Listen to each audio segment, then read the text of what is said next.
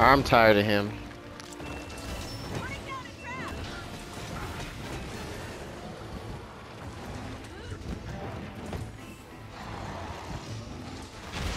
Excuse me?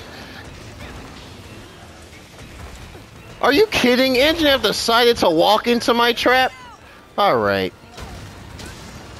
These monsters are on that bullshit today. That's why they out here in this goddamn desert. There's no water, no nothing.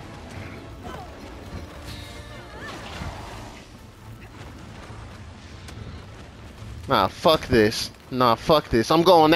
I'm going after that ass. I'm going after that ass. I'm about to jump off the cliff with the goddamn lens pointed forward. You big hulking rocks with wings.